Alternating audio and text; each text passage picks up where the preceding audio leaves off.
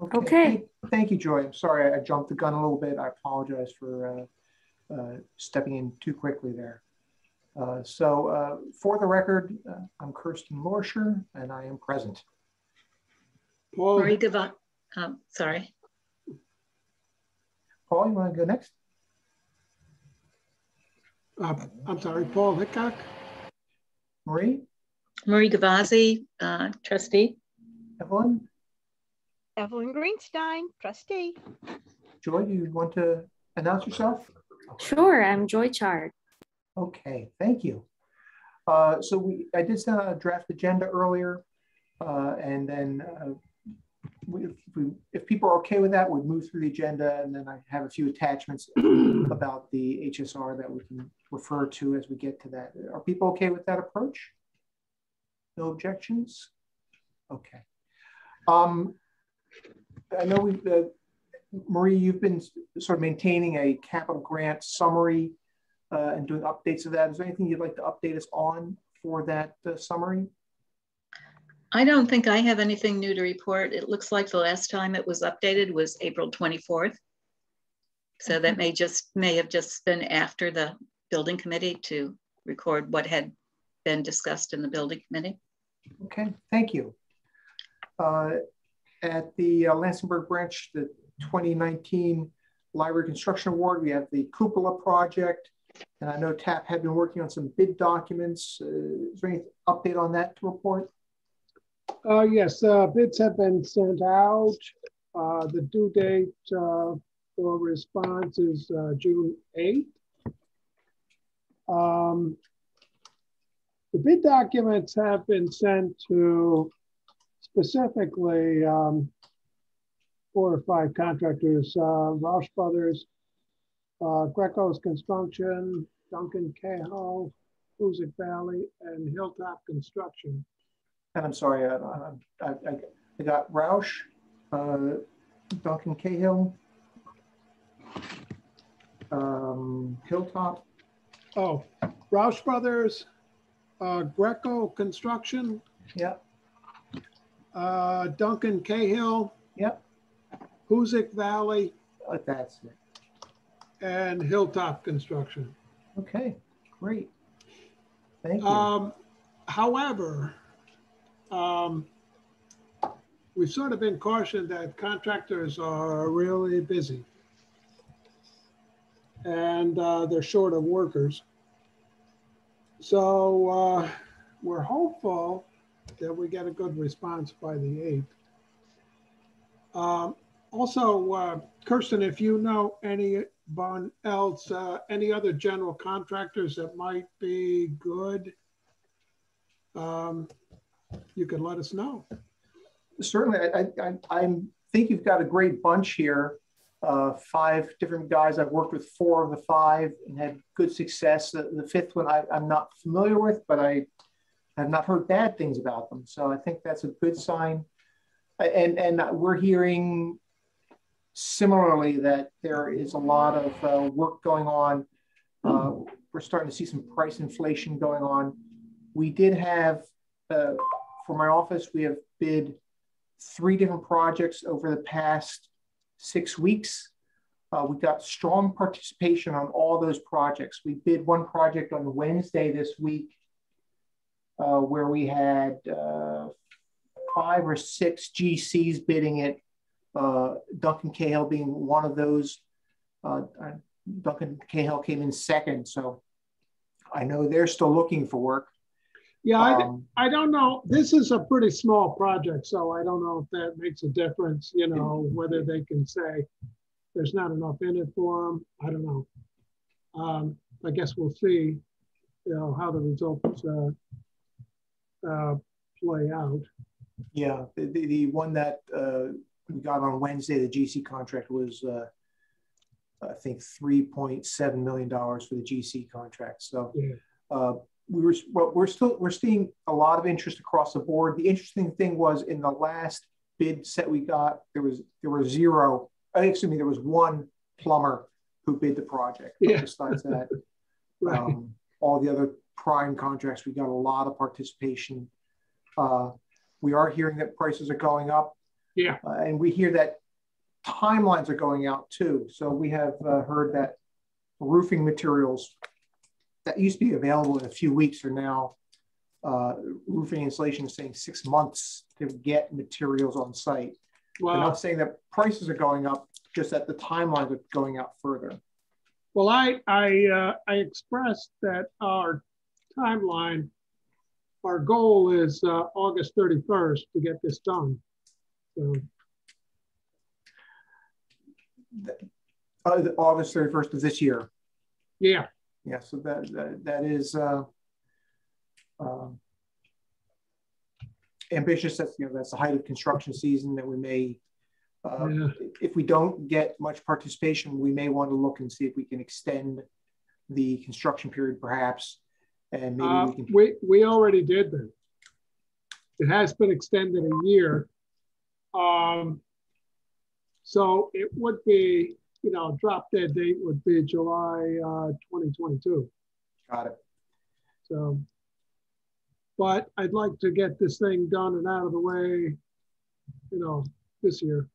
Well, you may you may want to poll the bidders, see if they're interested, see if they have any um, thoughts on the timeline, and if extending that timeline within this year, maybe instead of being August, maybe if you were can extend out to November Yeah. first or something like that, you may find you may get a little more uh, interest, perhaps. I, I- Yeah, we're, we're gonna do that. Um, I just talked to Lisa today and, uh, you know, we're gonna talk about that, uh, with, uh, with the bidders. Okay, good, good. Well, good luck with it. Thank you for the update. I appreciate it. Um, we've talked about uh, uh, 20, 200th anniversary uh, event or, or uh, some sort of uh, acknowledgement of that event. Uh, and we talked about potentially doing a plaque at Lansingburgh with the Lansingburgh Historical Society. And, and Maria, I think you had said that uh, you were in communication with the friends on that and with the Lansingburgh Historical Society. Are there any updates on that piece? Yes, um, I, the front, uh, the Lansingburgh Historical Society said yes, that they were interested in having, having that occur and they were fine with the, the friends going ahead and make, doing the application um, for it. So I connected the Friends representative, which is Mary Muller, and the representative from Lansingburgh Historical Society so they could communicate directly. Great, great. Is there uh, any role that uh, you see for the uh, committee, or is it something that uh, you want to report out on, or is it something that we can uh, do? We should we carry this, continue to carry this on the agenda? I think so because it's not free, you know, it's not really finalized in terms of what will be occurring, except, you know, that the decision that people are interested and um, to pursue the, the plaque. And Paul, have, have you spoken with the staff yet on any ideas they may have? No, no, I haven't.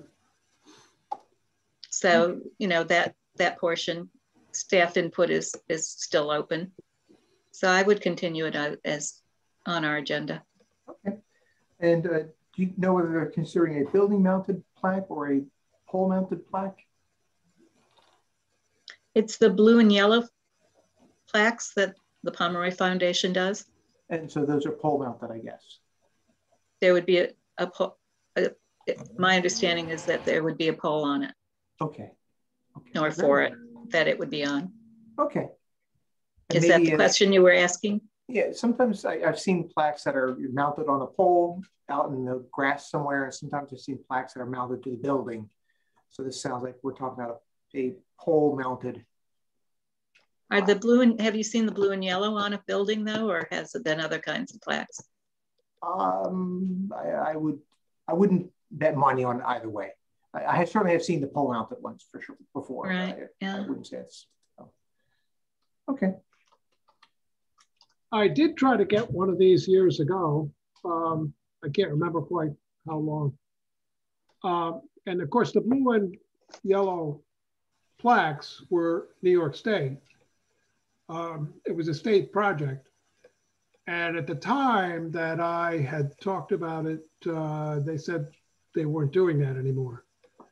So I don't know whether they started up again or what agency actually was was uh, in charge of it. Uh, but this was oh several years ago. My understanding is the application goes to the Pomeroy Foundation and that they pay for it. Yeah, well, that's different um, because it used to be the state just paid for them. Mm. Yeah. Thank you very much. Um, is there anything else on the Lansingburgh branch that we want to update on? On a building perspective? I think it's doing well. okay. Thank you. So far. Good. Good news. Good news. Uh, then uh, I think we have some general things to touch base on. Uh, work in progress at the main branch. Uh, the north and east wall repairs are, are in progress. And uh, uh, with Debrino, and I think they anticipate finishing in June. does it look like that's still the the plan? Any updates you'd like to make on that? Uh, not really. They're still pretty much on track. Uh, hopefully to be largely done by the end of June. Um, and I haven't had any other, we haven't had any other issues. Um, so the work seems to be going along well. Thank you. Uh, last month you mentioned that there was some potential additional work they were considering uh, regarding uh, foundation stones and things. Was that uh, well, developed that, any further? The additional work that uh, I was concerned with was uh, on the roof. And so the roofer that they're going to use um, is going to prepare um, an estimate for us on some additional work. So I haven't seen that yet. Okay. Uh, and so are there funds available to address that or do we, we have to look to find well, funds from another source or kind of depends on the estimate we do have yes of course of we, course. do have funds um, you know extra funds in the construction grants uh, uh, fund um, you know and, and we, we could we could definitely do what i think is reasonable um, you know, to be done up there for uh, a reasonable amount of money. Um, and, and, is is that additional work is that associated with the ice dams that were noticed previously, or is this on the other side of the building? It's uh, mostly associated with the uh, roof that we put on uh, quite a few years ago, the EPDM roof.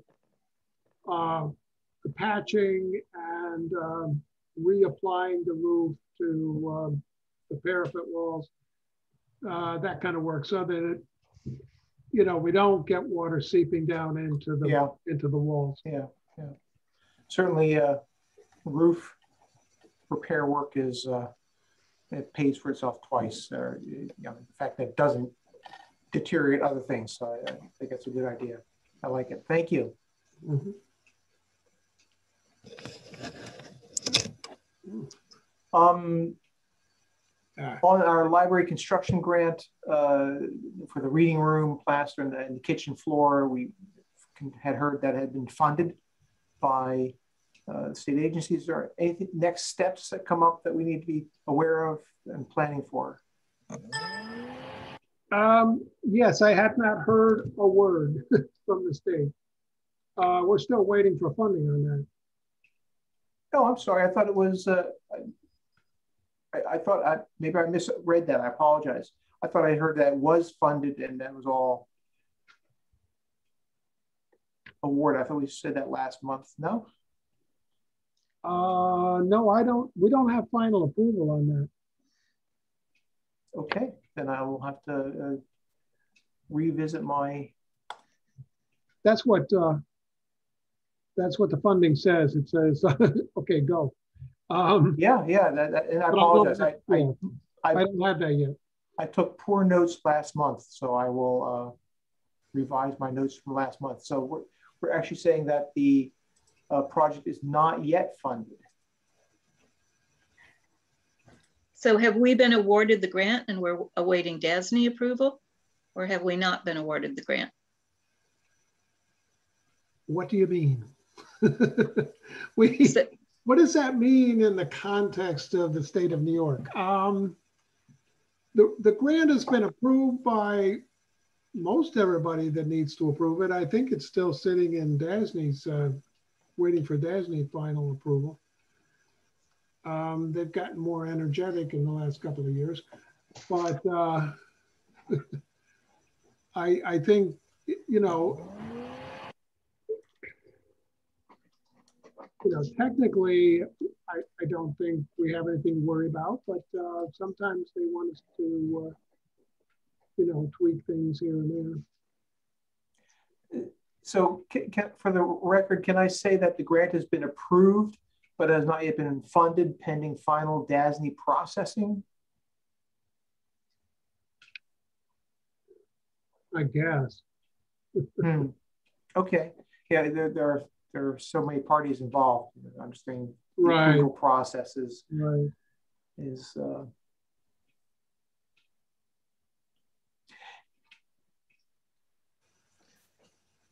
I think our, and- please correct me if I'm wrong, I, I think I remember that our hope was that we'd be able to do some of this work this summer, although it's not necessary, it's interior work, doesn't have to be summer work. Yeah, it could Um, be, could be any time of the year.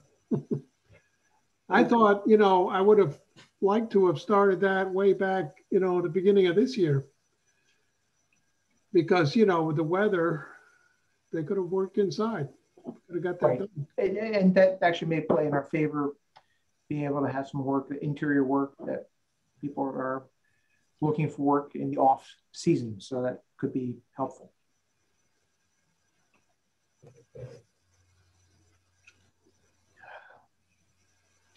Okay.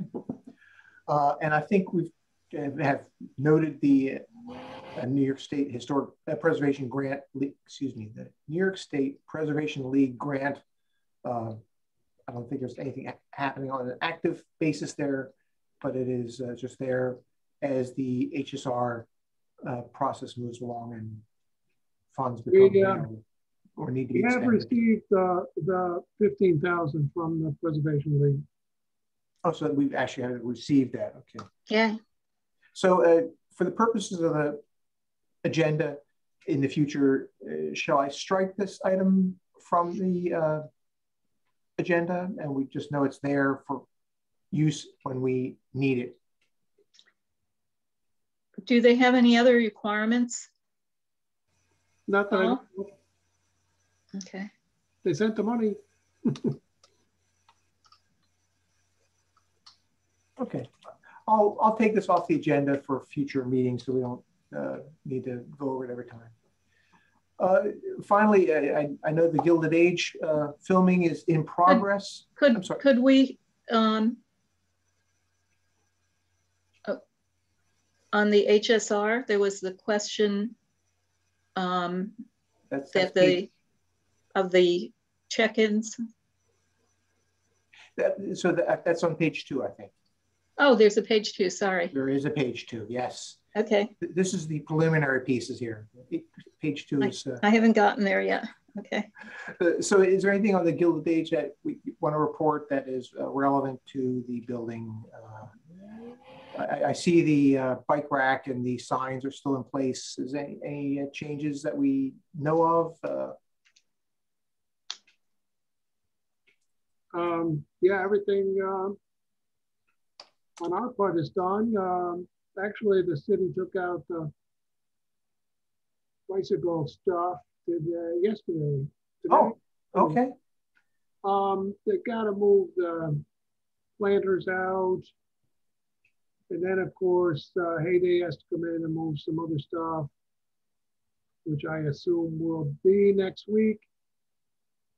Um, downtown is like a nightmare. Uh, you can't get anywhere. You can't park anywhere.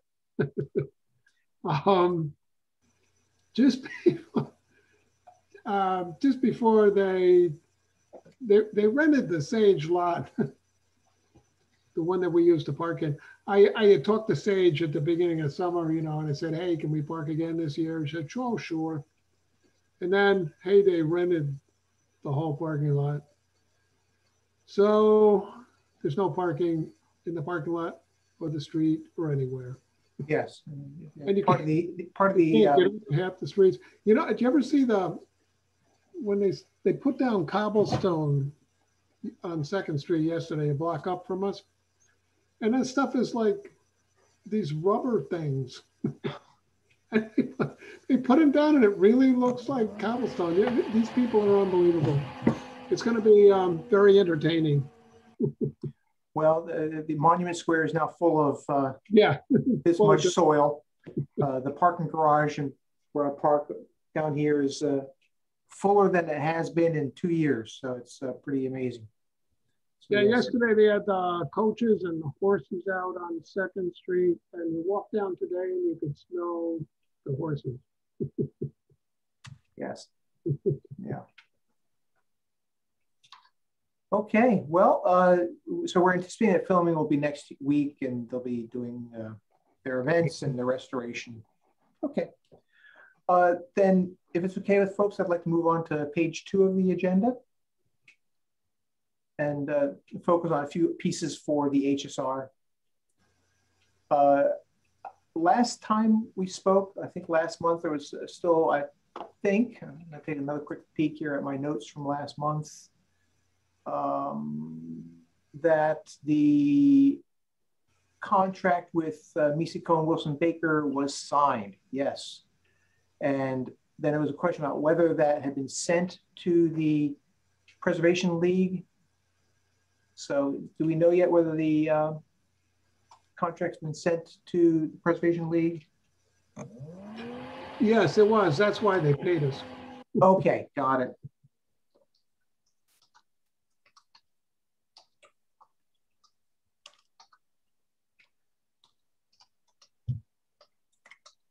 Okay.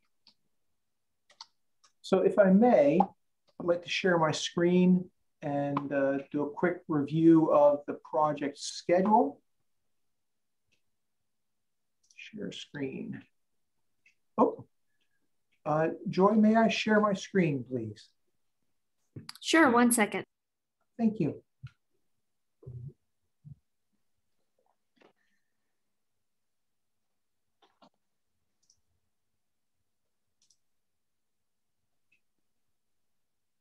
Should be all set now.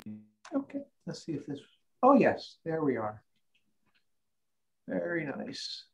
Uh, let's do, I guess, this here. And uh, can folks make out the, uh, can folks see my screen first? Let's ask that question. Yeah, Okay. Uh, so this is the schedule put together by Mesick Cohen Wilson Baker uh, a few months ago uh, for the entire HSR process. We are now here at the end of May, and uh, there are many tasks that have gone through, and uh, so they're in the process of uh, starting to assess the issues and of physical damage to the building and make recommendations on that. Uh, they've also started the library space planning uh, review and analysis. Uh, we have the walkthrough uh, with Alex Cohen on site. That has already happened. So that's all to the left of the line. Uh, item I highlighted here is the mechanical, electrical, and plumbing recommendation report from Quantum Engineering. And uh, that is expected as a deliverable here at the end of this month. Uh, I did speak with uh, Gina earlier today, and Gina uh, said that they are still on track to do that, um, and that they would be looking to make a, uh, a preliminary uh, report to us for our review and consideration so we can start to talk about that and uh, work on setting what priorities uh, want to be uh, for uh, the report as we move forward. But I think we'd asked them to accelerate this piece so that we could use this here as a tool to potentially pursue shovel-ready project funding from the state.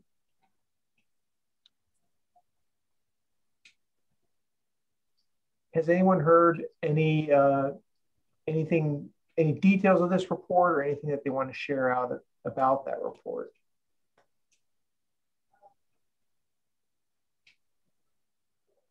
Okay, so I guess Paul, you'll be seeing something from uh, Mesick Cohen Wilson Baker and from uh, Quantum Engineering on that uh, probably in the next few days, maybe after, immediately after the, uh, um, the Memorial Day holiday here,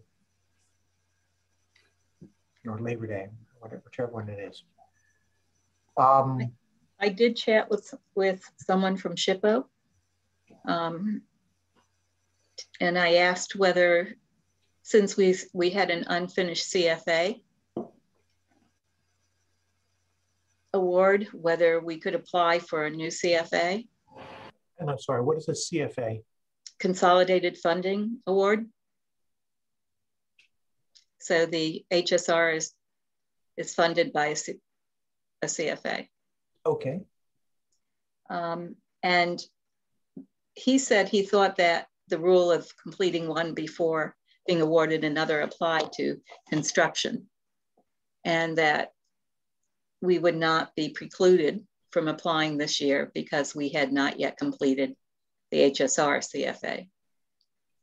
But he also indicated that they're difficult to get. So it sounds like we'd be more likely to get funding either from the library construction or from some of the stimulus money. And, and correct me if I'm wrong, I, I thought that we had heard that there was there may be some funding coming through from the stimulus package. That was why we asked them to accelerate this uh, to try and maybe be prepared for something of that nature. Yes. But also because Paul needs to make application to the for the construction. Got it. So there are multiple funding opportunities and we want to pursue them all. And hopefully this will give us some uh, tools to, uh, to move forward with. Now, Paul, you were going to make application to, for a member, for member money as well. Is that correct? Um, not yet. Um, we haven't, uh, we're waiting to hear how that's going to work. Um, I haven't heard anything from Tim. Um, you know, he had promised to let us know, you know, what the procedure was. So we haven't done anything yet. Okay. Um, I will say, though, that the 2021 uh, New York State Public Library construction portal is going to be opening any day. And this may also be a piece then that we may want to put in for that as well, Paul? Um, well, that's, you know, that's a problem at the moment. Um, I don't really know. I got a couple ideas, but I don't really have anything pinned down. One of the things I thought about was just uh, having uh, Debrino, while they're there, take a look at uh, either the south wall or the west wall and giving me an idea of what they think, um, you know, how they would tackle that. I mean, they're Masons, you know, it's the whole company is, you know, their whole um, business model is masonry. Um, and that's probably what has to be done. Um, so if they could take a look at it and maybe say what they think, and then go ahead and give us an estimate, I think that might be something to, to think about. I'm confused. So those walls are marble, right? Yeah. So do they do marble masonry? Well, yeah, it has to be held up there. it also has to be leak proof. So, you know, it, it involves masonry pretty well, pretty heavily. I think we probably want to get uh, Mesick Cohen Wilson Baker involved in that piece there. I think that's part of their one of their primary charges is is the exterior facade of, of the building. Yeah, I, Um, I would I would have them, you know, take a look at as well. Um, you know, but those areas are the big glaring problems at this Sure, point. sure. Other than, you know, other than the HVAC system, which we don't have, right. Uh, the west wall and south wall are just the big elephant the room. Yep. Yep. We just want to make sure we're working toward a, a long-term solution, not that we uh, uh, move sideways in some way. Uh, I, so, I was, uh, I also had thought about, a you know, smaller project, um, and I had mentioned that before, and I was actually looking for ways to go about that, was um, replacing uh, floor in the reading room upstairs. When I say replacing it, pull up those tiles, refinish the whole floor. okay. Um, I, I will just, if you don't mind, a comment now as we're going through the construction grant project picking. Um, just in the back of our minds to remember the 90 10 possibility. Um, you're right, Upper Hudson will have to make the determination again of how that criteria will be in place for the 20, you know, this cycle. But just to remember that it's a possibility. And uh, uh, Evelyn, I think you're referring to the 90-10 uh, aid ratio uh, for Exactly. projects that would be eligible because of the uh, the library, uh, the community that we're in, and the, uh, the uh, larger context. Exactly. 90 10 versus the 75 25. Right. It's, um, it's a little bit uh, of a challenge to kind of um, shoehorn your project into the requirements for that 90-10. Right. Um, it, they, Right. Project has to be a certain size, and has to be a certain percentage of the total. Right. Um, 10%. so yeah, it's a little tricky Can't to, go 10 over 10%. to work. Right. Again, and the criteria, who I'm not sure if we're going to keep that Upper Hudson, I should say, is going to keep that criteria. Uh, that's probably up for discussion again. It gets reviewed every year. But it, it's just to keep it in the back of our mind so we don't forget it as we're making those judgments. Okay. Thank you. Let's take a quick look at the agenda there. Sorry. There we go. So we talked about the shovel-ready projects. Uh, part of what um, Maria, I think, is it the um, Historic Preservation League that wants to see draft reports, or is it SHPO that wants to see draft reports? My understanding is it's in the SHPO contract that So- there be some kind of check-in. I don't remember off the top of my head what kind, and it may be because I didn't understand what kind. Sure, and, and I wonder if we can use the uh, HSR, the the the uh, mechanical systems assessment, which is part of the HSR, plus a memo from Mesick Cohen Wilson Baker as that progress report to send to SHPO. Have you done that sort of thing before, Paul? Not really. Uh, Progress reports or whatever? we do them for the, the stage, um, public library construction, uh, grants, but they're very, very brief. Um, Maybe that's all that's needed here. yeah, I mean, they, they just ask you, you know, if you signed a contract or have you started the project or, you know, and you just say yes, no, whatever. um, so they, they don't, they don't require a lot of narrative there. Um, I can check with Danielle. I got to check with her anyway because um, uh, SHPO has to process payments, so that doesn't go through the, the grants gateway. So I will check with Danielle too on what else they might want to see. My, what I uh, heard was that they just, they wanted to make sure that the project wasn't going off in the wrong direction. So they didn't want to get to the end of the project and find that it wasn't what they wanted to see. Hmm, But I'm sure Danielle can give you a better idea than, yeah, than that. And I think, what was it, 2040? There were maybe about four, four or five different points where they wanted a progress report. yeah, I, I, they haven't requested anything, so I better touch base with them, see what they. Yeah, it, it's want. in the contract.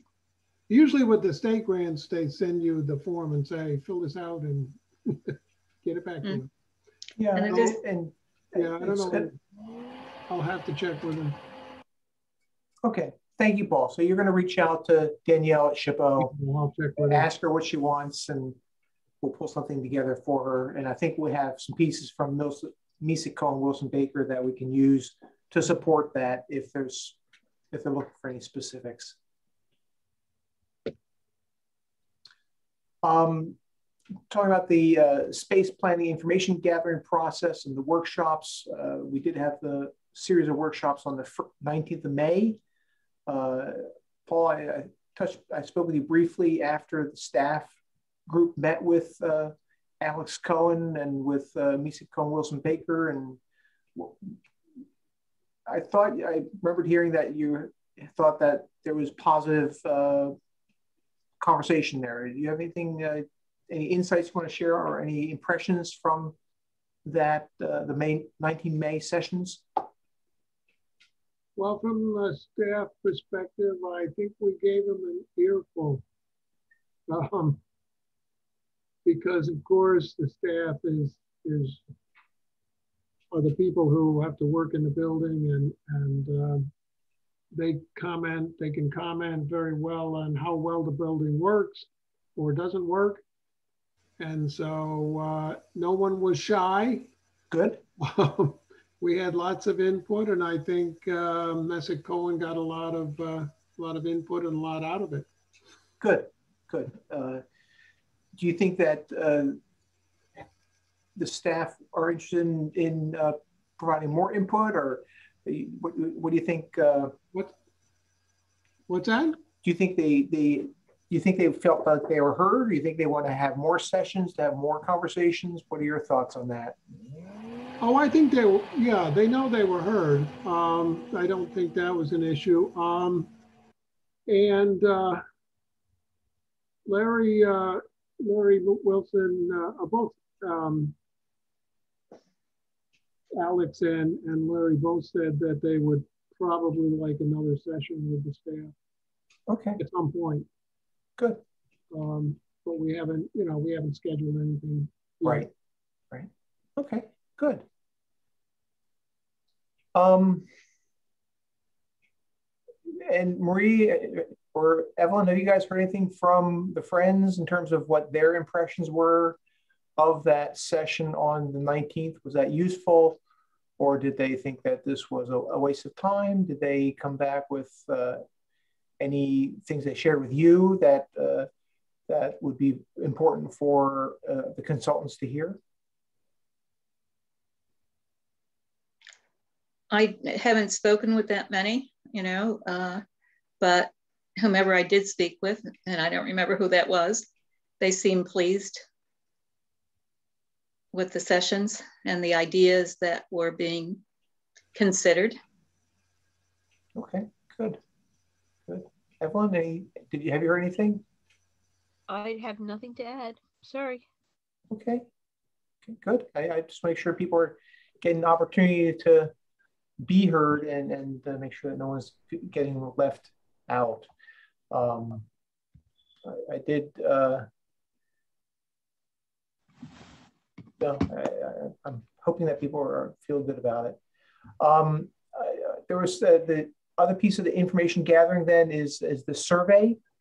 There's the uh, electronic. Well, sorry, there was the board. There was the board too. Yes.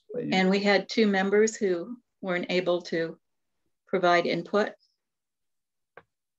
I was thinking that I'd reach out to them and see whether they'd like an opportunity to do so. But I haven't had the chance yet. And I'm sorry, I did not, I don't recall who was not at any of the sessions. Brianna was there, but she had to leave. She just asked a question and Bob was not there. So I thought I would contact the two of them and see whether they would have like to have an opportunity. Okay, sure. sure. And, and perhaps just arrange a virtual session for the two of them with whomever from the Mesick team. Yep. And uh, Alex said he's open to that, participating in that as well. Uh, so I think that's good.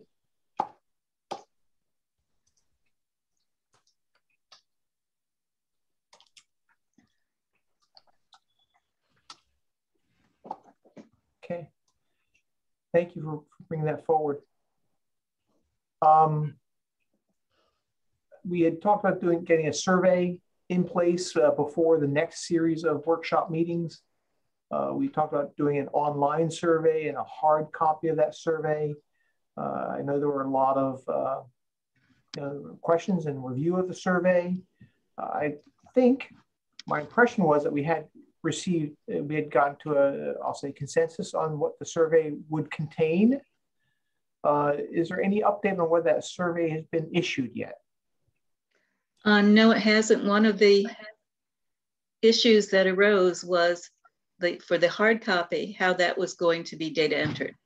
Uh, well, uh, I thought we were going to do the, I thought we were going to proceed with the online version and then uh, get the hard well then get the hard copy because I think I thought we were going to say that the I thought I thought we were going to proceed with the electronic version and I thought then we had resolved the hard copy format and I was hoping to talk about the uh, how we'd post the hard copies and to get that online so uh, sounds like we've not gotten anything out yet is that what I'm hearing that's correct. Okay. Um, but well, there's no reason we can't work out the rest of the process. So, Paul, you were going to check to see whether staff would be available to data enter? Yes, uh, pretty much no.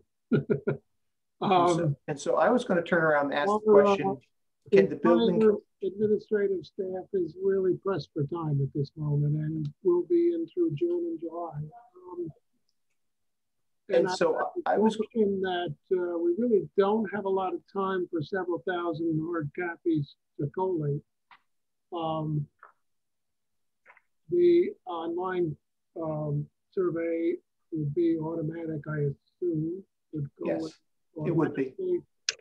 Uh, but the hard copy would have to be gone through by hand. And uh, right now, I'm afraid we just don't have that kind of time. And so uh, what I was going to ask this committee was if this committee would be prepared to individually volunteer to post five surveys hand hard copy surveys to the net uh, to the website per day or 10 surveys per person per day I don't think we're going to get thousands of email uh, hard copies back, frankly. Uh, and if we do, that's a great problem to have, and we'll solve that. But I, I am, I'll say, I am prepared to transcribe five surveys or 10 surveys per day from a hard copy onto the digital platform. And I'm wondering if anyone else on the committee is also willing to do so. Um, no, I'm not sure. You, you, have to, I'm not sure how that works. Um, it, it, I, had, I thought hard copies would be passed out at the library, that sort of thing. Yes, they would be. the actual they, pages, you know, that people would get. If they could access it on the internet, why wouldn't they fill it out in a in a digital format? Uh, some people find accessing on the internet hard. They would prefer to do a hard copy, which is great. They should. We would love to get their information. They would then return that hard copy to the library, and then I would come to the library and pick up ten copies. I would take it home, and I would put it into the computer myself, and I would then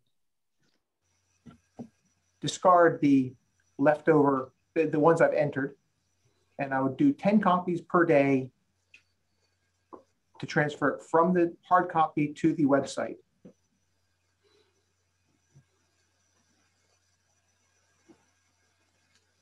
Yes, Evelyn. I had to mute. If someone showed me what needed to be done very clearly, um, I could take some time to do that. Thank you, Evelyn. That, that would be lovely. And, and I, I think you and I could learn together and uh, you, know my lack of tech ability, right? I, I think you and I are, are, at the same level, Evelyn. I, I am not a techie person. My impression, and my impression is this should not be a, a techie, should be go to a website, answer 10 questions, mm-hmm. and you're done. And I think I can do 10 questions 10 times by looking at someone else's answers and copying them. Um, and if it's harder to do than that, then the survey platform online is not a good platform. So I think we should be able to do that.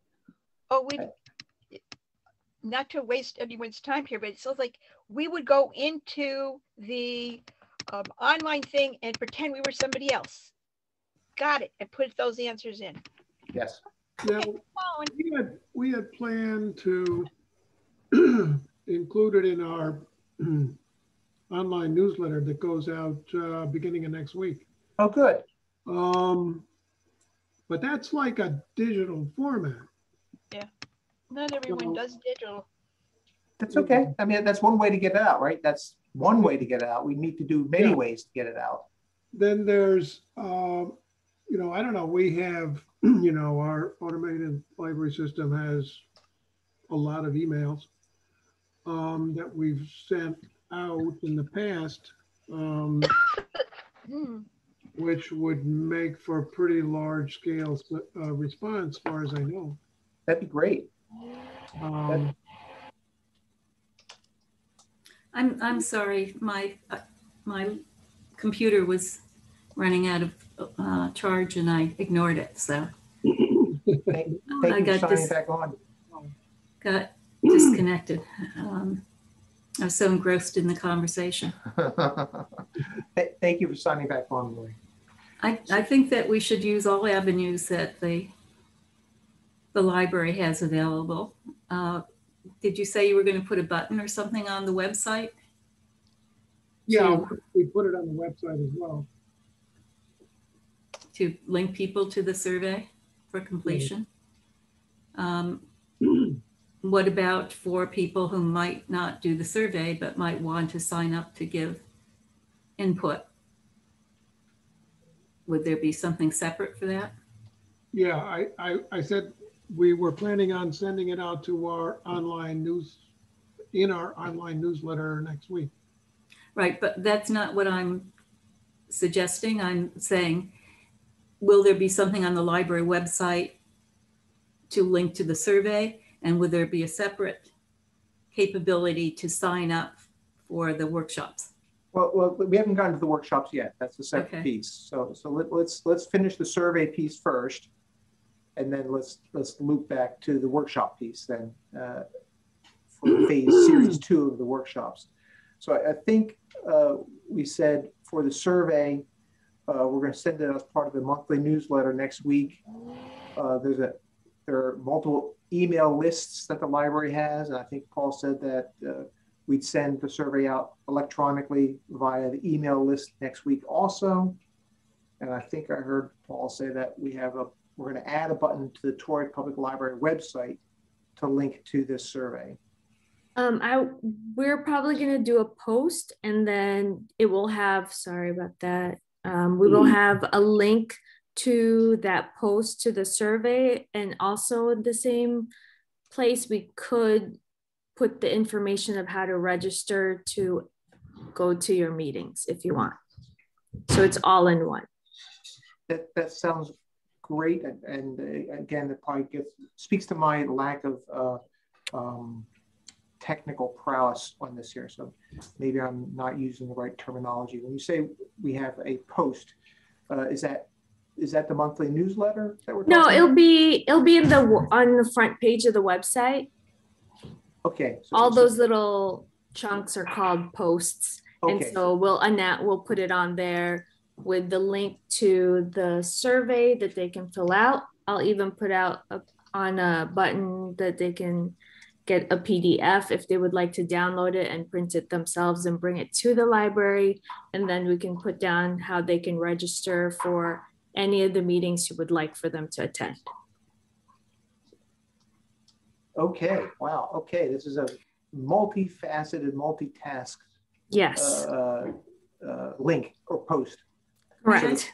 So I May think I see it before it, it's put into implementation? I'm sure, but I just need to know what you wanted to say. and, like, the- and I, and I'm I'm I'm very concerned about getting this survey out. And if the Marie, if you want to, you know, dig into the the specifics of this here, then I'd like to suggest that we do separate posts for the survey and the meeting, uh, the workshop uh, sign up piece. I'm, Um, I'm just concerned that if it's a post, which means, you know, um, that it may lose visibility at It'll be at the it'll be at the front page at the Right, top. but, but lots of times I can go to the front page and not everything is visible. Things are, are down below. yes, I can control that.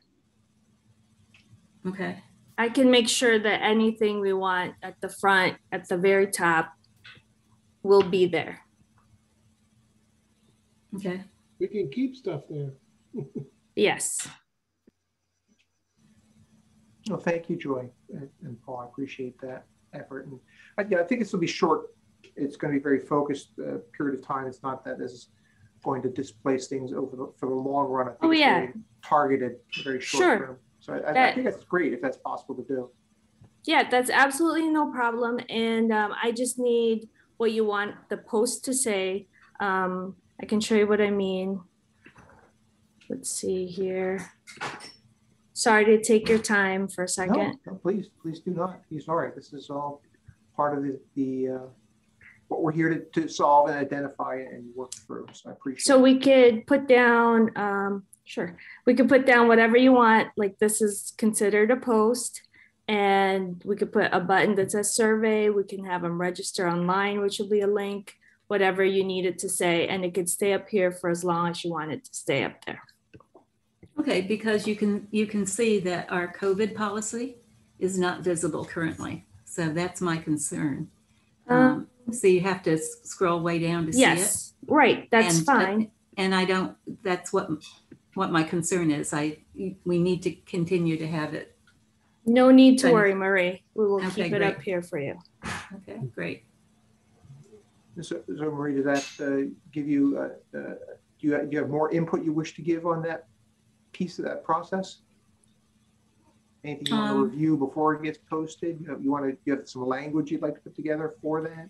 I, I don't, it- I haven't even thought so far as language. I was just more concerned that it not be right where it hits people in the face. So I'm sorry, you do not want it to be where people, it hits people? in the No, face, I- you- I was more concerned that it wouldn't be. Okay, we, we do want it to be very prominent for the Yes. short term. Okay. No problem. Would it be okay if, uh, if I work with Joy on the language, uh, so we can get that uh, finalized and get it out? Sure. Very Yes, good. just please send me whatever you wanted to say and I will copy and paste it exactly how you want it and we'll put it on there. Um, Joy, uh, we'll, we'll reach out tomorrow with- if that's okay, and we'll, we'll touch base. Sure, no Tomorrow's problem. Saturday, tomorrow's, Right. tomorrow's Saturday. Uh, I'll reach out on Tuesday if that's okay with you. Yes. Oh, fine with me. Okay, and, uh, we'll, we'll, uh, And is that when your newsletter will be going out, Paul? Um, it, it could go out on Wednesday. We could have um, Lori, who is a resident proofreader, look over everything to make sure everything is periods and capitalizations and spellings are correct. And then we usually send it out after she says it looks good. Okay, so the link to the survey on Tuesday and the newsletter on Wednesday? Wednesday. Yep. Which includes all of the links to the survey, PDFs, whatever you want on there. Okay. I, I don't think we should include a P- PDF, but we can talk about that more, You guys just let me know what you want. right? Thank you, Joy.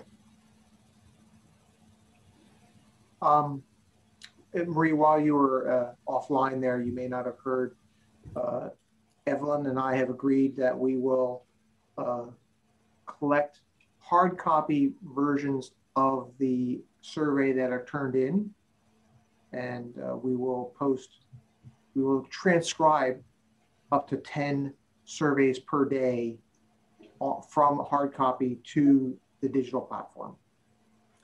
I, I think, and I think I talked with Paul about this, that we should encourage people to use the, I, I agree. the electronic version Of course, and have, yes. have hard copies in the library just strictly for those people who, who can't use the electronic. If they're looking at the website, they should be able to complete the survey online. I, I, Yeah, that's I, what I would think. And, and, um, I agree. and even, even in the library that, you know, the reference librarians could encourage them to do the electronic version. I, I agree with you. And that's why I volunteered to do up to 10 per day. I'm hoping that we don't get thousands and thousands of hard copies. I would be very surprised if we got thousands and thousands that of hard should copies. limit how many we, uh, we have to handle. Well, part I'm sorry, of, part Paul, of the, I, I missed that. Paul, What's that? we didn't hear what you last said. Oh, no, I, I, I just think, uh, you know, that will limit how many we really have to handle. Right. Um, you know, if we concentrate on having the hard copy available at the libraries, at both branches. Yeah, I, I think that's, that's a nice way to do it. And uh, we, we certainly want to hear people who uh, are completely uh, not able to use the electronic media, but uh, uh, we want to encourage them to use it. But if they can't, we certainly want to hear what those folks have to say. So, uh, well, So, we'll and, it- and that may, you know, pr- produce an extra burden on the reference librarians if they have to help people get to the, to the uh, survey, Paul. I don't think so. No, I don't think that's gonna be a big, a big issue. Now, Alex seemed to think that we'd be lucky to get 200 surveys back. Yeah. I was certainly hoping for more than that. Well, um, I, I think Paul's speaking, uh, uh, Alex was speaking from experience and, and knowing you know, that you know, there, there are core people who are motivated and interested and engaged, and then there are people who are perhaps less engaged. And so this is just one tool to um, gather information, and we find out who the engaged persons are. So I think that's a- win-win there. So uh, hopefully this will give us information and it will also connect us with people who uh, want to be involved in, in this planning exercise. Uh, um, I, I'm very hopeful that we'll be able to get this here uh, moving very quickly here in the next week. That's good. So then that brings us into the, the next piece then, uh, which is the second series of workshops, uh, which we've talked about doing the, on the Friday, the 18th and Saturday, June 19th, uh, with the idea that these would be in-person meetings at the library, uh, roughly broken into two-hour sessions. Now, now, Paul, there was, uh, I know we've, uh, there've been some changes in the state mandates in terms of occupancy levels and requirements related to COVID. I was wondering if there are any updates uh, for us at the library in terms of maximum number of persons we can have at the library at one time. Uh, we really haven't changed that. Um, the, you know, the number has been uh, 25. And we continue to use that uh, starting next week when we go back to regular hours. Um, I think, you know, I'm somewhat concerned because um, we haven't started um, programs back in the library. Um, and uh, as far as I know, no other public library has restarted public programs. Um, so it's it's it's kind of um, you know difficult to schedule these and say, well, how come we can't do other programs? Um, how come we can do these with a whole bunch of people and not regular programs? And, And I'm, think that may be the criticism we, we would, we would hear. Hmm, hmm. It- When we say pro, and I'm, I'm not sure what the definition of a program is for one, uh, but when you say 25 persons, is that including staff in that 25 or is that in addition to staff? Well, 25 people from the public, but that means in the building itself. Yes, Now, the building is 28,000 square feet. yes, Um, That doesn't mean in one room, yes, you know, yes, which is much smaller. yes, yeah. So No, no, we don't anticipate 25 people in any of these meetings. I would like to see, you know, less than 10 in any one of these meetings.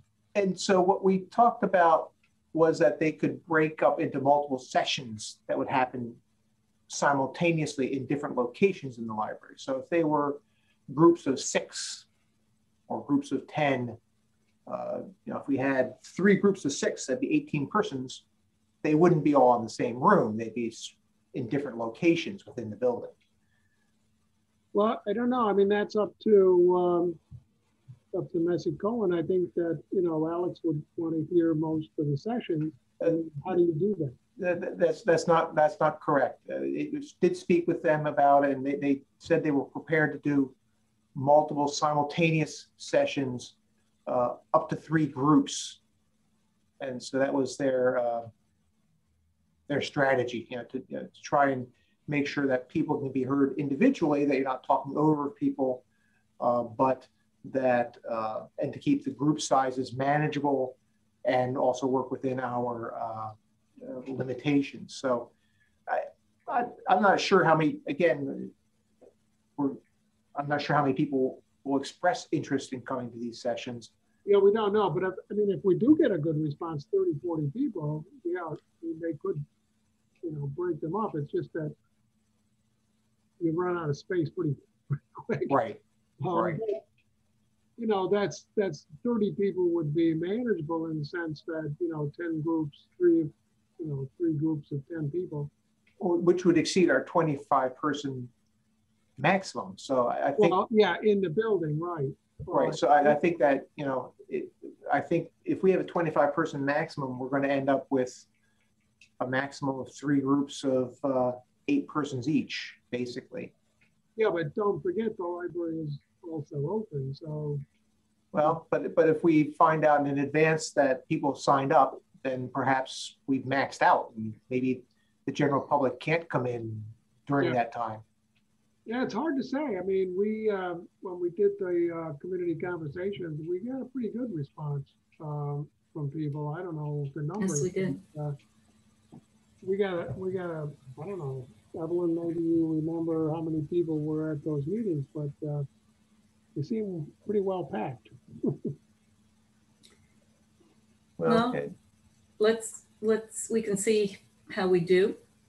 Maybe we can hold some virtual sessions that would be less limited Right. in terms of numbers. Do you think? I, I do think, and I think we would have to do it as a sign up in advance uh, thing so that can be managed. Uh, Certainly, we don't want to send out a, a broadcast and say, please come to a meeting and have 250 people standing out in front of the library and saying, hey, we want to meet right now. Uh, that's, we, we don't want to create uh, that false expectation uh, because it's not manageable at this time. Um, I think if we can say, please sign up, and we could say we could have up to three groups of eight persons, and that doesn't include uh, Alex and, uh, or that would include Alex and uh, Larry and Gina. So really, we can only have them plus seven guests or seven patrons. When we, um, when we have programs at the library, um, and you have to reserve a space, we also close them when we reach the maximum number. Exactly. We can handle that. Yes, exactly. So I, I think if we, uh, I, I- part of the agenda here, I've put together, you know, a couple time slots. Uh, this is after conversation with uh, Gina of what their thoughts were. So on Friday, they're thinking uh, one session at one o'clock, one session at four o'clock, and one session at six thirty. They were thinking each session would be two hours long. They were thinking each session could have three simultaneous groups meeting in the library. And there'd be one of them for each of those groups. And that would mean that we could have seven persons sign up for a slot. That's, you know, that's their first, uh, I'll say brush or first pass at this. Uh, we also talked about we want to have some uh, groups that are from uh, the city or city council. We talked about having the bid and uh, the Upper Library uh, Association involved in this here. I apologize, Evelyn. I know I didn't use the right term there, so I apologize. um, do we um, want to say that the one o'clock session would be for, or maybe uh, one of the, uh, maybe all three of the groups that would need meeting at one o'clock might be from the city, the council, uh, and the bid?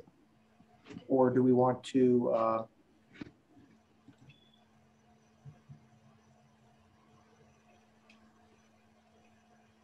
does anyone have any thoughts on that, on how that might be structured?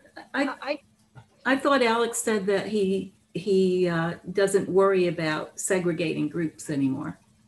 That he kind of, And, goes and with the that- that's why I, diverse I, group. I proposed that the other groups were sort of general public groups. But I right, think I but you heard, could, you could mix the city council people and the, you know, and other people together. We could clarify that with him as Well, to whether, what, that's what he intended.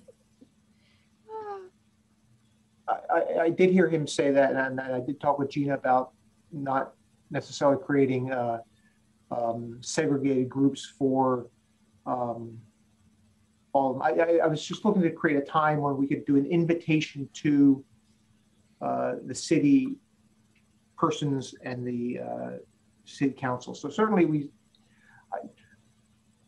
we want to make sure that some of these groups, uh, sign up early, put it that way, that we, uh, um,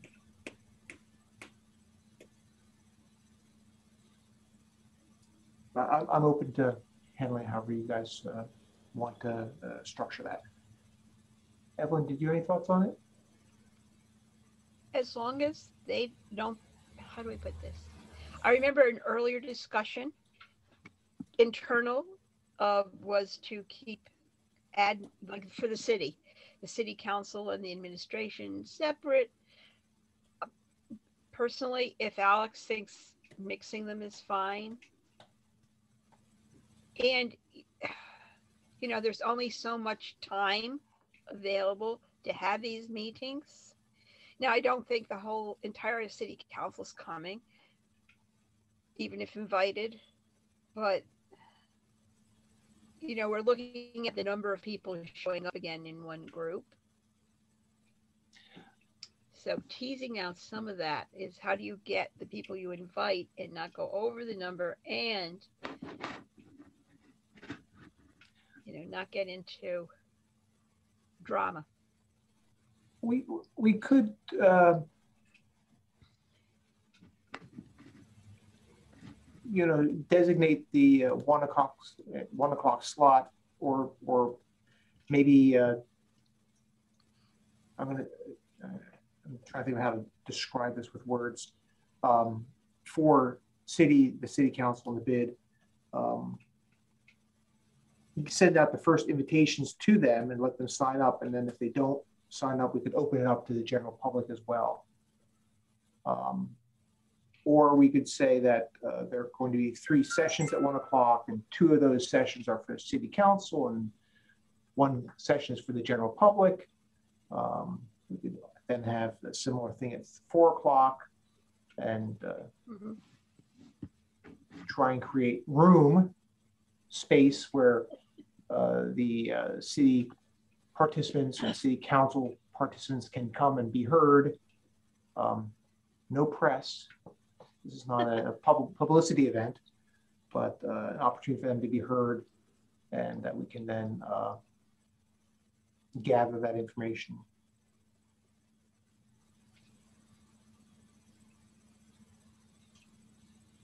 Any thoughts or preferences, recommendations either way?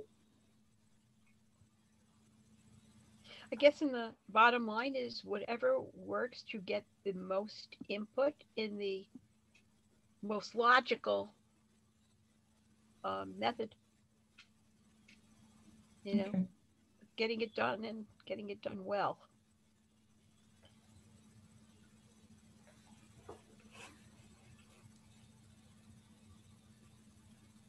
Yeah, I would rely on Alex's judgment also, because he's the one that's running them, one of- that is running them. Yep. And I would worry less about people feeling uh, left out than I would be about us getting what we need. And I think I was a little tone deaf uh, at our last meeting uh, when it was proposed that we have city council participate um, uh, as separate from uh, city government. So I, uh, I don't know what the dynamics are between those different groups and uh, how one manages that, uh, that political environment. So there's, there's a piece there I don't quite know how to maneuver through either. So I, I think you guys probably have more experience with that than I do. Well, and, and, in- you know, I think that when we're saying that too, that we weren't cognizant of of Alex's uh, experience and preferences on this.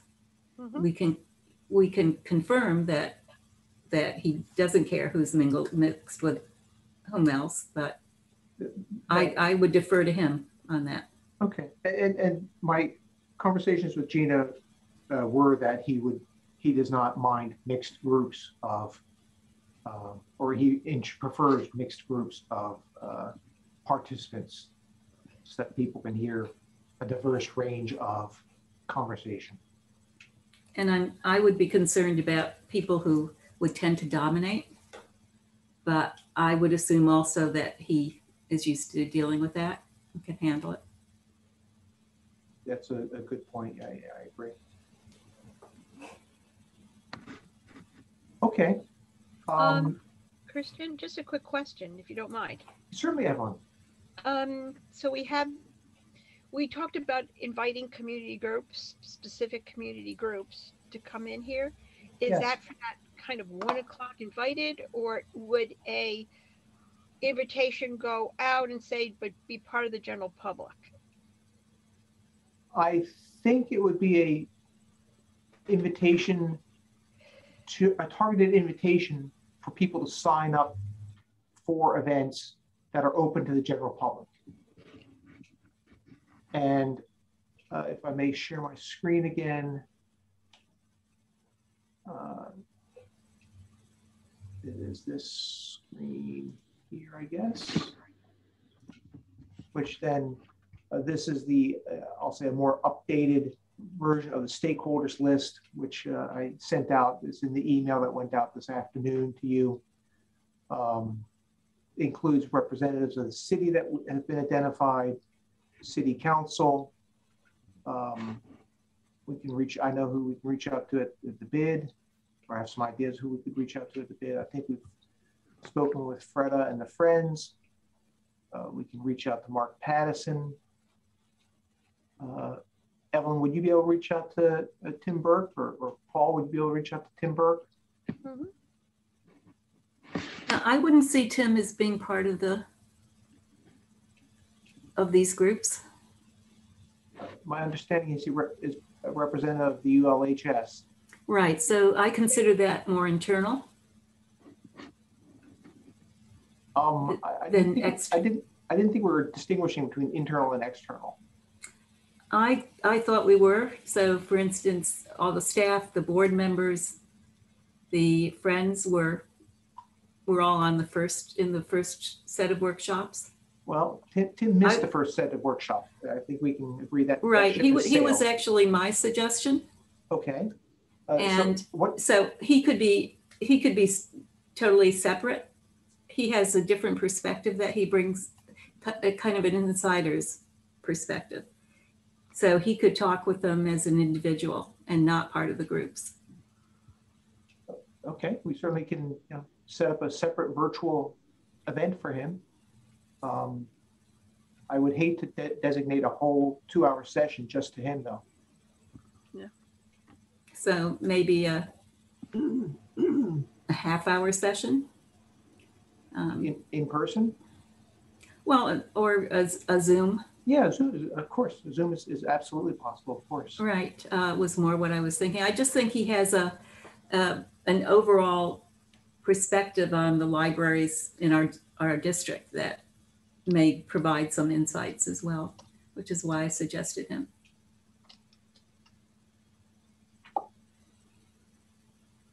Okay, I'll correct the spelling later. Um, I think there were, you know, some program instructional groups that were identified perhaps.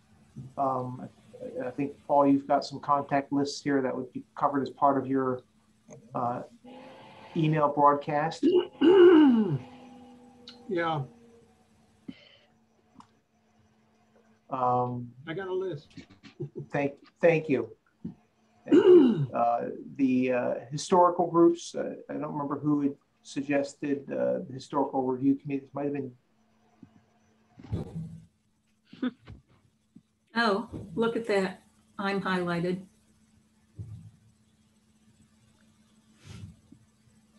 I thought it would be good to have a representative of the Historic Review Committee for the city.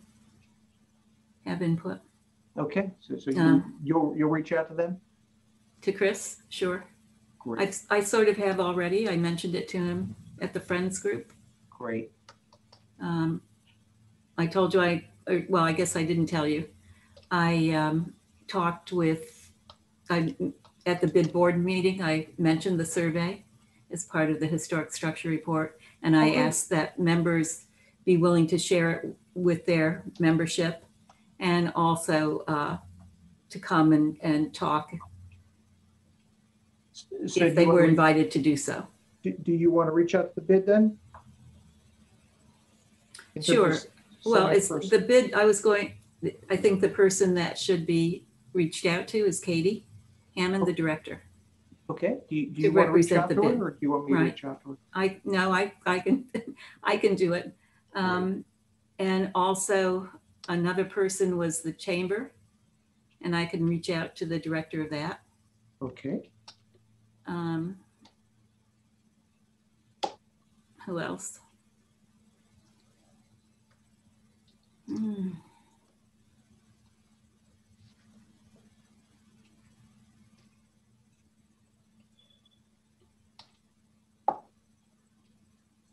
Troy seniors. I don't know who Lavinia Marie Lucia, Lucia.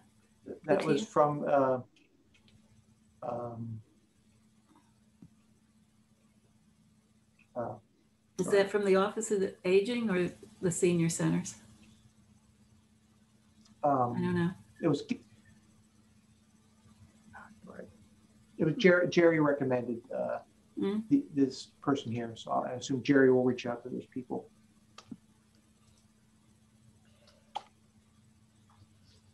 I know the Troy Housing Authority, Jeff Morrell.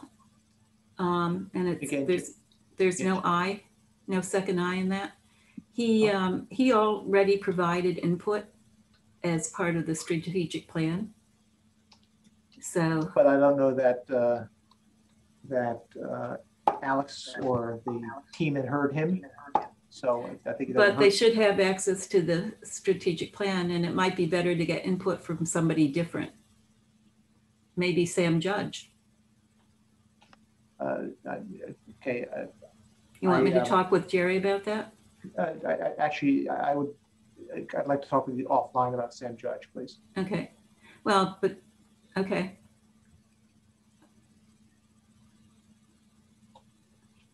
I, I- think we don't want to be limiting who we invite. I think we should invite everybody and then people who sign up, sign up. And if we try and not invite people, um,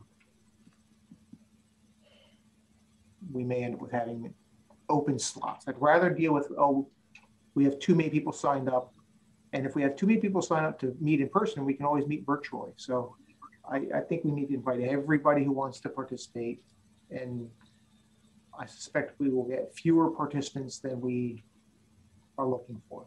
But Yep. maybe, maybe we'll have the opposite problem. And if we have the opposite problem, I think we will, we'll have to deal with it when it happens. But uh, just because somebody gave input a while ago, I, I think we should not not invite them for the future. My personal opinion. Uh, does anyone want to reach out to these folks here? I know Nora McDowell. I can reach out to her.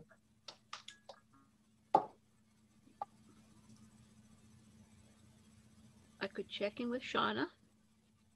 Okay.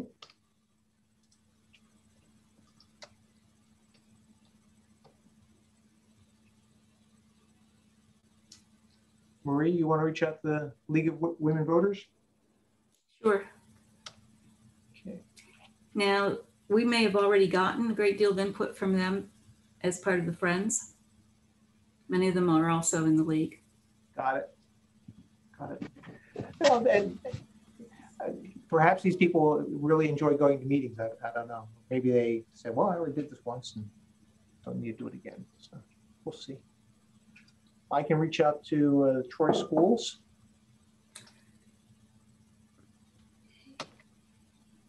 I know uh, Christine Nealon. Okay. If You want to try um, Patrick Doyle? Patrick Doyle, let's see. I'm sorry, Evelyn, I don't see, I don't, Troy's Boys and Girls Club. Oh, there we are. Thank you. Yes. There You're we are. Thank you. By the way, can you send out, before I forget to ask, could you send out this updated task list? Yes. Yes, I Thank you. will. Yes, I will. thank you. Good, good question. Good question. I'll, I'll reach out to Patrick and uh, Monica. Oh, that Patrick. I can-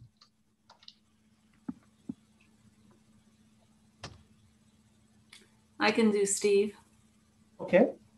Or did you want to do him? No, that's fine. If you, if you, uh, I, I- know him to call him, but if you know him better than that. Chris, have a good night.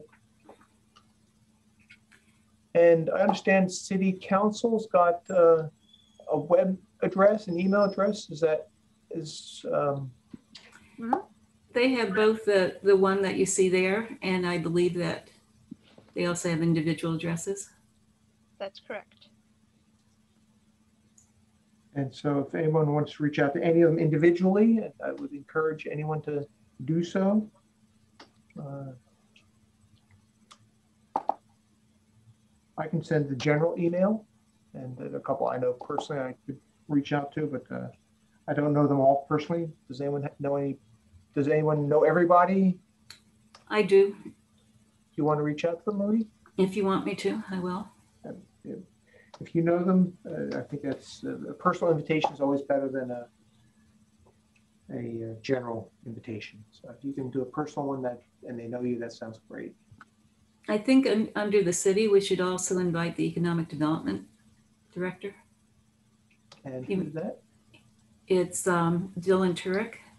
He he is under Steve, but Monica is uh, you know is under Patrick and Steve is under Monica. So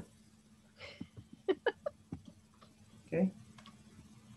Um, I know we came up with this list. I'm really sorry, but it just occurred to me now to think, just asking, not suggesting even.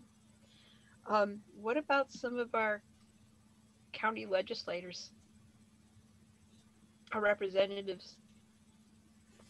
um, I mean the They're not city, but they're Trojans. You know, um, no, and they represent the city, right? So it just, they- it, again, just The six know, the six uh, Democratic legislators represent the city. Right, Um, how about Patrick Grimm? Uh, Patrick, uh, Peter. Peter Grimm, sorry. Grimm. Well, there's Peter Grimm, Cindy Doran, Carol Weaver, um, Mark Fleming, Mark Fleming, and there's someone who else. else? Two more, right? I can't remember. I'm sorry, my typing is not that fast. I, I've- I've gotten two out of the four you've mentioned, or six you've mentioned. So are, That's. We can't remember the. Evelyn, are you saying that we should invite all six? Well, I think if you're gonna do one, you have to do all. Well, personally, I don't, I don't feel that way, but, so just put down six, six uh, county legislators. And I'm sorry, I, it just occurred, I don't know why it didn't occur to me before. No problem. Um, and who would like to reach out to them? Do you know them, Evelyn, or do you want me to do? I, I know Carol. Um, who else did we talk about? Well, Peter Cindy Grimm. Doran, Mark Fleming, Right. Peter Grimm is interesting. We've been introduced several times. Um, I, I saw people my kids went to school with on his porch once during the um, garden uh, tour. And I swear to God, he just doesn't remember who I am at any time, each from time to time. So Carol's I- the only one that I'm comfortable. Uh, uh, you know, I'm, I yeah. have, I'm in communication with. Uh, I know, I know Cindy, I know Mark, I know Peter well, because we worked together on some projects. a little bit, especially the garden tour. Yeah.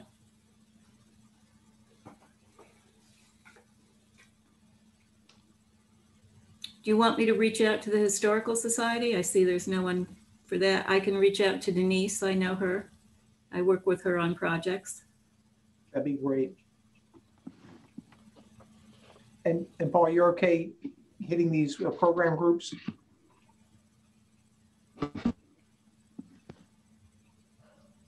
As part of the, uh, the broader Yeah. email list?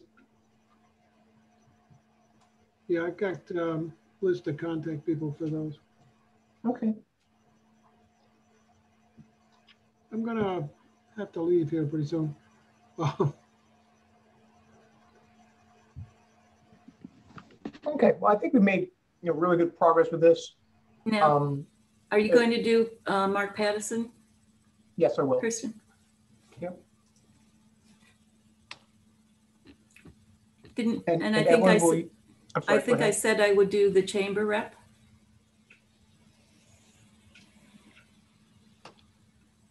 Uh, I'm pointing here. That doesn't do much good. does it? Yeah, I had your name. Oh, I guess I have your name here for, oh, yeah, I- in fact, I have you here. Yes, I got you. Oh, okay, so Yeah, it's three there times. twice, okay, You're going to reach out to the bid and to the chamber. right. they're both, you know, they're both on the bid board with me. Okay. And um, Evelyn, will you reach out to Tim Burke? Sure. Okay. And, you know, we'll certainly make it possible for Tim to have a individual Zoom session uh, where he can speak uh, his mind as fully as he'd like, if that's what he would prefer. Well, I, I, I think he might be hesitant to speak his mind if it were, you know, in a more pu- public venue. So I think, yeah, You know, not only does he have the systems um, viewpoint and know uh, many of the libraries, he was the uh, executive director of the Albany Public Library when it went through some transitions. So, Well, I didn't realize that. I, I thought, I had thought he was the assistant director. I thought he was a director. But you may well be right. I'm, I'm just, That's how I've heard the story, but uh-huh. Well, certainly he'll have some insights to share Tim, that'll be but valuable to hear. Partly from Tim, partly from others.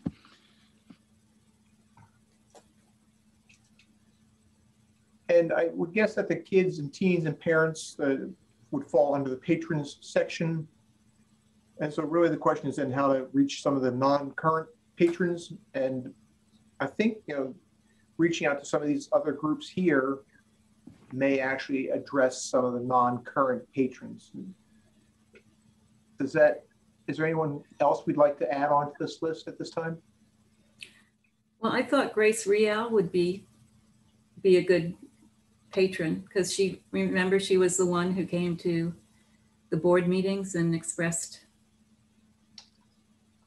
feedback. And is Grace uh, on our library uh, email list? Probably. So are you thinking that you'd like to extend a, a separate invitation beyond the, the library invitation?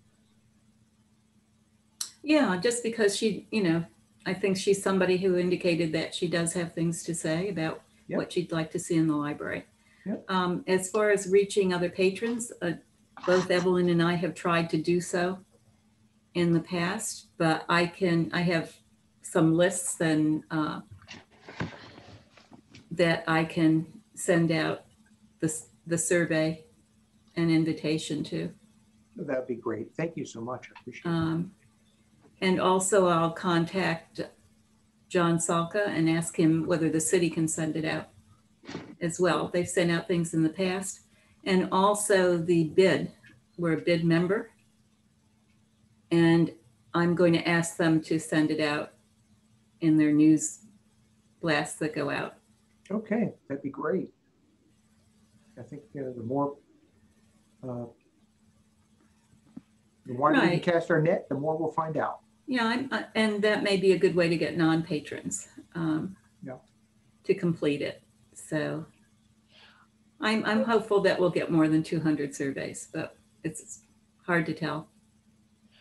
Are there institutions, um, well, I know the, the city is definitely not just downtown. The bid is downtown. That Right. are But not centralized, you know, downtown that could send out this kind of email blast too.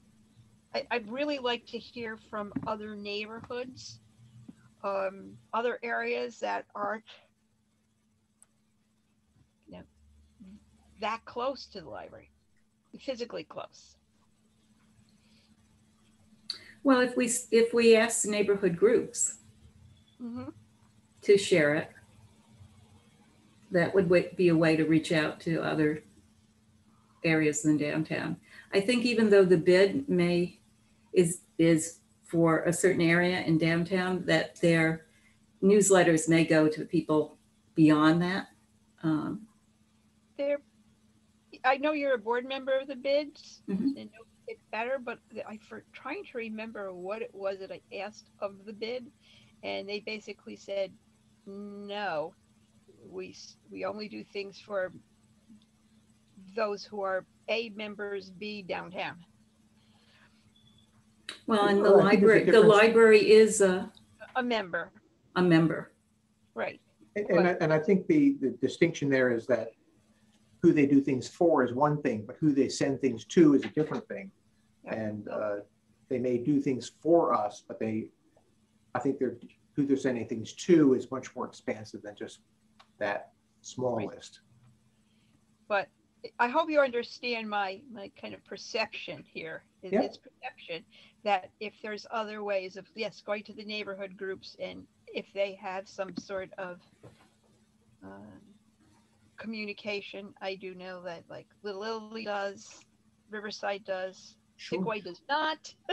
Well- Um, Well, Evelyn, I, I think I think you should feel, we should all feel comfortable asking our uh, uh, groups that we are connected to that we know uh, to uh, that are Troy based to participate in this process. mhm. And Um, uh, you say, you say that Sycaway does not, but Sue Steele seems pretty active. Maybe, Oh. Maybe she could send it out for Sycaway. She's definitely active, but there's no neighborhood group. Okay, I thought she was trying to get something going. Okay, well, you know, I agree with Kirsten that whatever avenue that we can think of to get this promulgated, we should do. Yeah, Okay, well, I'll, I'll clean this up here and I'll send it out and I'll include uh, Jerry on this as well. Uh, She's the one who offered these names. I assume that she's going to be comfortable reaching out to them. Um, I'll- And uh, I'll share it with the entire uh, board and see if uh, people are uh, able to do that. Okay. Um, I think, let's see. We talked about having multiple sessions at once, up to three sessions, not more than 25 persons in the building uh, at a time beyond staff. Now, I didn't hear the answer to the question about um, using the library on the, on the Saturday. You would ask Paul whether, whether that was possible, and I think he responded that he wasn't available. And then you said, would that pre- preclude, did, was there an answer to that? I- And I'm sorry, that's a good question. Paul did write back and also that he was not personally available on Saturday. Um, But that did not preclude the event, it was the, uh, or the, uh, the library from being open at that time, was my understanding. And Paul, I, the six thirty session that was mentioned for the, the Friday, the library would be closed then. Will that be a problem? Um, Not any more than usual. Somebody has to, depending on when they want to start the actual meeting. um, I think their objective is, is to be very focused, you know, six thirty, Get people, if you get people in before we close, that's fine. Otherwise, we've got to uh, monitor the door. Um, perhaps we could make it six o'clock. what time? We'd still, it? With, there still is an issue though, as far as people straggling in late. Yeah, um, as I say, we'll probably have to monitor the door. And I, I apologize, I don't know, what, what time does the library close on Friday? Five o'clock, Five o'clock. Oh, it's, it's, oh, because it'll be back to normal hours, right? right? But the one good thing, or the, on the other side, there won't be other members of the community in the library. Right, nor large numbers of staff, so you could have larger groups that then. Okay, so we'll work that out. It's workable then? Correct, Paul? Yeah. Okay, Okay, thank you. Thank you for your help with that. Okay. Um, well, this has been very helpful. I really appreciate it. Uh, we, they did say we can have additional uh, virtual stakeholder meetings after the 19th. You know, if we get lots and lots of interest and these are all fill up, uh, we can do additional meetings after that virtually to uh, supplement. So I, I think we can create opportunities for people to be heard and for uh, ACA and, and uh, Mesick Cohen Wilson Baker to hear uh, what our Troy constituents uh, have to say about the library and what their hopes and aspirations are for the building itself and what their challenges they see. So uh, sounds like we've got a, a process here that is, uh, I'll say, coming together. Um, are there any concerns about or thoughts about what we've spelled out so far? Uh, things that we should add to this that we haven't considered?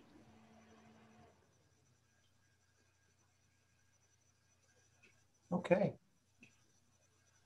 Uh, anything else we want to talk about else beyond uh, the historic structures report, beyond the things we talked about already?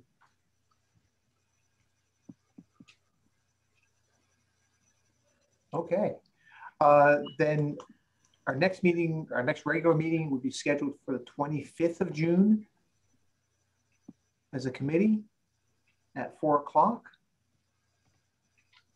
And um, if there are no objections, then I would suggest we wrap this meeting up. Okay, I think everybody's anxious to leave. No, I'm waving goodbye. yes, yes. Have a very nice weekend, everybody. Enjoy. Thank you so much for uh, your thoughts on this here. Thanks for helping to pull this together. I'll clean these notes up. I will get them together and get them out. Uh, I'll get them out on Monday for everybody. Okay. good. Thank you. Bye, everyone. Thank you so Bye-bye. much, Troy. Take care. Bye bye. Okay, bye. Bye.